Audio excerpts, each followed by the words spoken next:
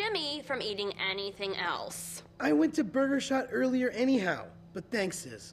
I'm glad you're looking out.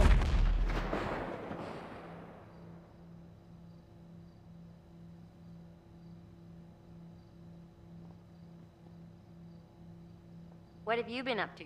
Jimmy's trying and failing to get fit. Yeah? And I should only be really protein loading right now, but this is an exception.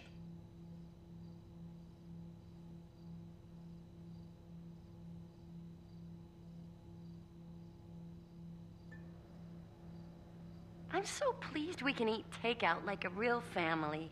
yeah, it's great, Mom. Yeah, a family that eats takeout together gets the runs together. Ew. That's what I heard.